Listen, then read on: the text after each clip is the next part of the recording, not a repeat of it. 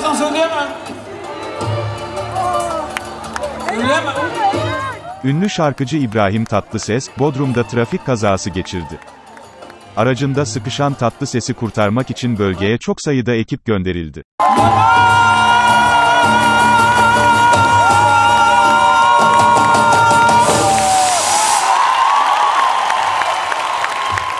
Ünlü şarkıcı İbrahim Tatlıses, sabah saatlerinde Bodrum Yalıkavak yolu üzerinde, aracı ile seyir halindeyken trafik kazası geçirdi.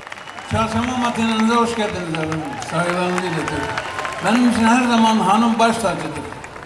İşte Derya burada, ispatı burada. Arabasının takla atması üzerine, araçta sıkıştığı öğrenilen Tatlıses'i kurtarmak için, bölgeye çok sayıda ekip gönderildi. İbrahim Tatlıses'in yanında kızının da olduğu öğrenildi. Elif o da. Kalk seni bir görsünler kalk.